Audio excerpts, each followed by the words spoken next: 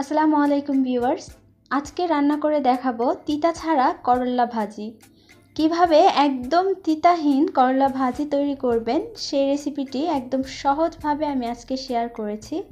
অনেকগুলো tips share করেছি, সেগুলো ফলো করলে আপনাদের করলা ভাজি একদম তিতা ছাড়া হবে, আর যে কেউ এই করলা ভাজিটা খেতে পারবে। প্রথমেই একটা প্যানের মধ্যে আমি তেল দিয়ে দিচ্ছি প্রায় ওয়ান ফোর্থ কাপের মতো। এর মধ্যে দিয়ে দিচ্ছি চার পাঁচটা পেঁয়াজ কুচি। এটা মিডিয়াম থেকে একটু বড় সাইজের আছে। আর কাঁচামরিচ ফালি দিয়ে দিচ্ছি পরিমাণ মতো।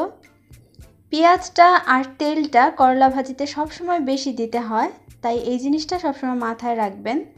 যখন পেঁয়াজটা নরম হয়ে যাবে, তখন এর মধ্যে দিয়ে দেব লবণ। আমি এক চা চামচ লবণ দিচ্ছি, পরে দেখে দেওয়া যাবে। আর হাফ চামচ দিয়ে দিচ্ছি হলুদের গুঁড়া। এর থেকে বেশি দিবেন না, নয়তো ভালো লাগবে না। এবার সবগুলো মিশিয়ে নিচ্ছি।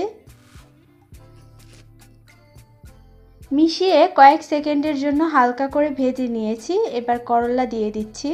করল্লাটা দেখুন একদম পাতলা করে কেটে নিয়েছি, আর আলুটাকেও। করল্লা যত পাতলা করে কাটবেন, তত তাড়াতাড়ি সেদ্ধ হবে, আর করল্লা বেশিক্ষণ হাঁড়িতে রাখলে কিন্তু তিতা হয়ে যায়। তাই সবসময় করলাটা পাতলা করে কাটার চেষ্টা করবেন, এতে করে করলাটা তিতা হবে না। এবার সবগুলো মিশিয়ে নিচ্ছি। মিশিয়ে নিয়ে করলাটাকে এরকম ছড়িয়ে দিতে হবে। কখনো করলা একসাথে চেপে রাখবেন না। এরকম ছড়িয়ে দিয়ে মিডিয়াম থেকে একটু কম আঁচে করলাটাকে ভাজতে হবে। কিছুক্ষণ পর নেড়ে দিতে হবে যখন নিচে ধরে যাবে। দেখতেই পাচ্ছেন আমি কিছুক্ষণ পর পর নেড়ে দিচ্ছি। আর চুলার আঁচ বাড়ানো বা কমানো যাবে না, এতে করেও কিন্তু করল্লা তিতা হয়ে যায়। একই আঁচে প্রথম থেকে লাস্ট পর্যন্ত রান্নাটা করতে হবে।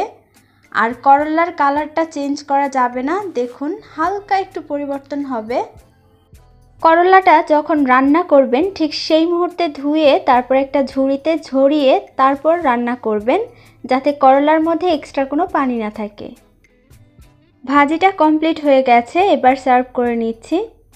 যারা কখনো করলা ভাজি খায় না তিতার জন্য, তারা একবার হলেও এইভাবে বানিয়ে দেখতে পারেন।